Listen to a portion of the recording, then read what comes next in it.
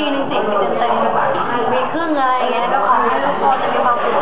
รักษาสุขภาพร่างกายให้แข็งแรงแล้วก็รักพ่อแพงอย่างนี้ต่อไป